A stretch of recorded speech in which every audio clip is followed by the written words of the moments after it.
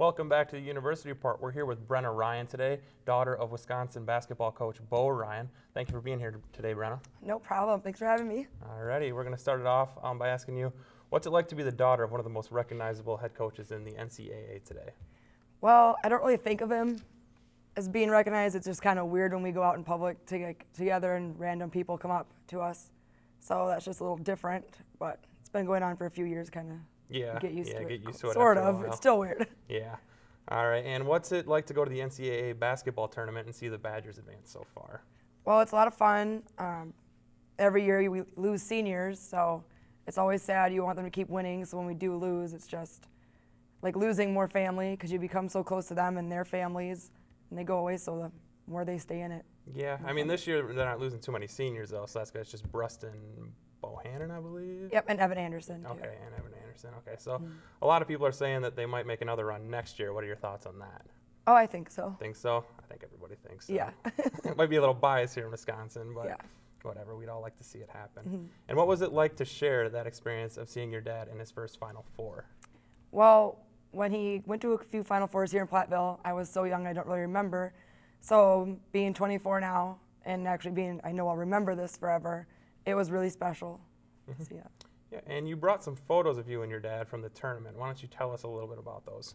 Okay. Um, well, you know, with Snapchat going on, I took a lot of selfies with him, of course, and then we got a family picture together after the game, after the win, back in his hotel room with my mom, with you know their hats on, and um, yeah, they look pretty cool in their hats on. Yeah, I, I saw a few of those. We always our- put our hands in to do Team Ryan. Yeah, you know? yeah, I saw a few of those on the Media Studies Facebook page. Somebody put them up there, Yeah. so that was neat to see.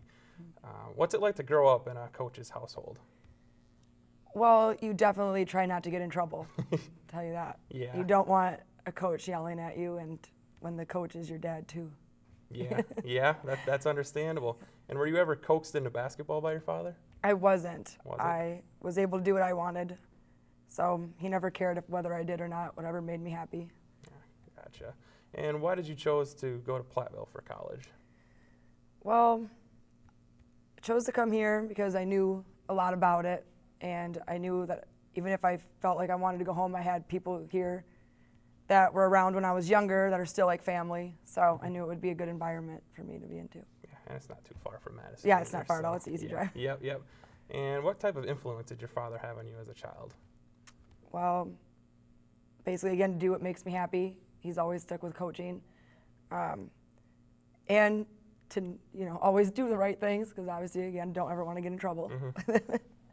Alrighty. So, is there anything else you might want to add to this before we take a break? oh boy, I don't know. Just look out for the Badgers next year, I guess. Yeah, agree with you there.